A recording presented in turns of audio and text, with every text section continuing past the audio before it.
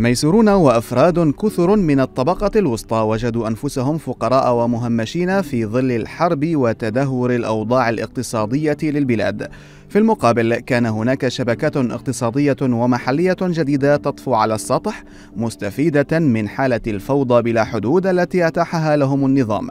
النهب واقتطاع شرائح معتبرة من السوق السوداء عبر توريد اللوازم الأساسية والسلع والبضائع وعلى حساب دخل الطبقات الوسطى والفقيرة لم يتح أمام الواقع سوى إعادة تكوين نفسه على هيئة انقسام عمودي أكثر حدة من فترة رامي والمئة حرامي والتي عرفتها البلاد قبل 2011 فوفقا لصحيفة Business to Business المقربة من النظام أفرزت الحرب في البلاد طبقتين أساسيتين.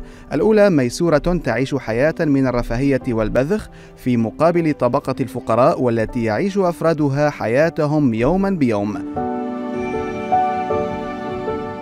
وبينما يرى البعض أن الانقسام الطائفي والإثني الذي عرفته سوريا بعد الحرب والتفاهم حوله هو الذي سيحدد مستقبل البلاد.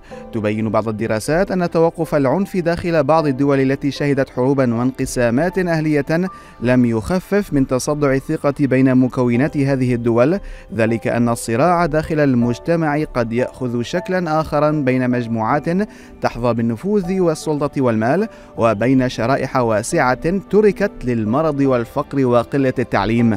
وهو ما قد يعزز من انعدام الثقة ويعمق من تصدع الحياة الاجتماعية.